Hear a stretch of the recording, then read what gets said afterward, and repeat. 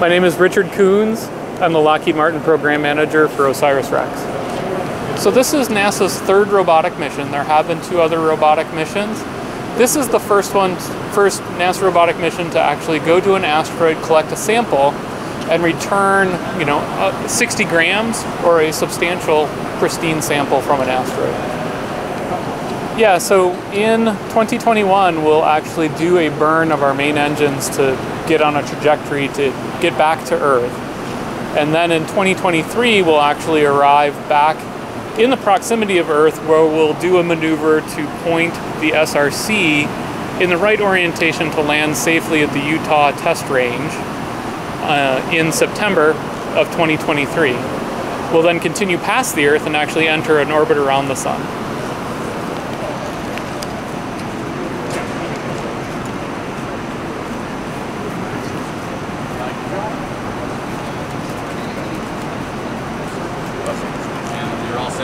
Uh, you push a little bit, it'll focus, and then. Uh, Yeah, so the main engines are the are the those that you see right here at the bottom of the spacecraft.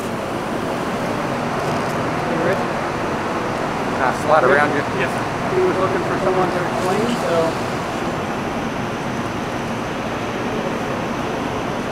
So the name of the asteroid is Bennu. Bennett. Bennu. And on the journey to Bennu and back, we're actually going to travel about 509 million miles.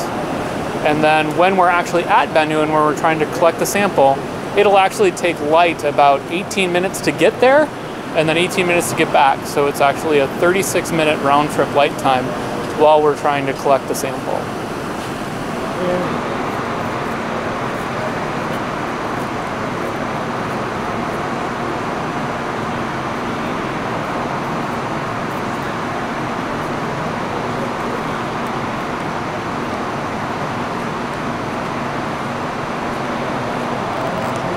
Absolutely. So there's actually several different camera suites on the spacecraft that actually run from the X-ray to the mid-wave infrared.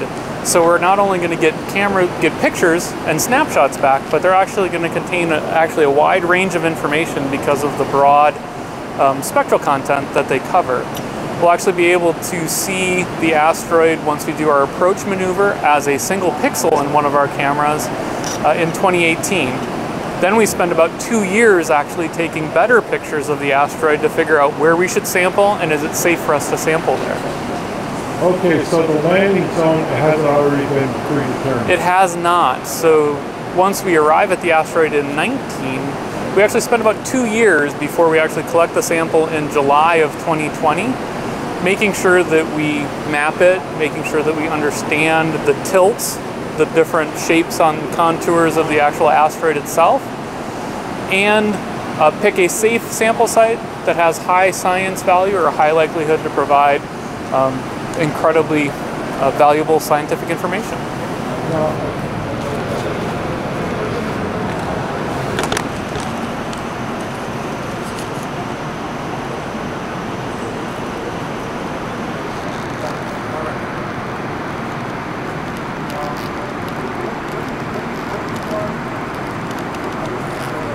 So, we do actually. It's one of the reasons that we think that Bennu is of interest to us. Is we do want to go to uh, an asteroid that has some loose material.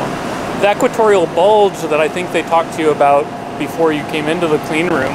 There's a bulge around the middle of the asteroid. Um, that indicates that there's loose material there for us to go collect. Part of what we'll be trying to understand in our mapping campaign is right where is that loose material? How do we go get it? Um, and uh, Yeah, yeah. then, then we grab the sample.